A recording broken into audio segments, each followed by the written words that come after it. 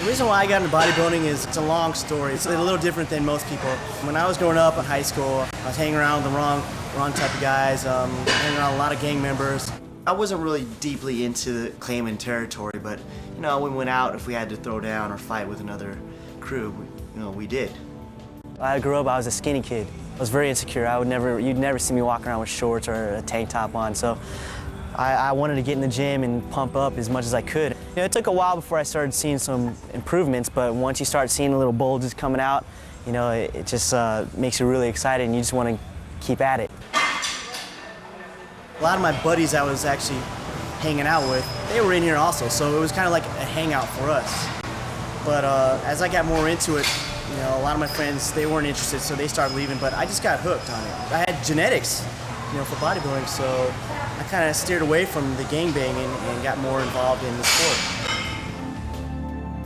There was one night where I decided not to go out with my buddies. Um, they were involved in a gang fight and uh, someone was, was, murdered and my best friend actually uh, received 25 years. I found out the news and that could have been me. That could have been, I could have been in jail with him also. And that kind of woke me up and that's it for me. I'm out.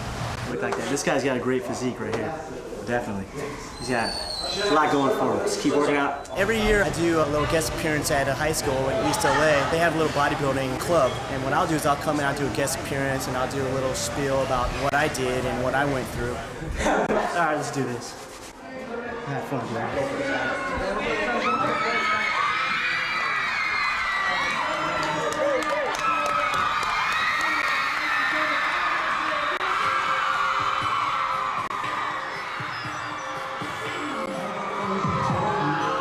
Rippling muscles on male bodybuilders inspire admiration and attract a strong fan base. However, take that same aesthetic and put it on a woman's physique, and you have a different story.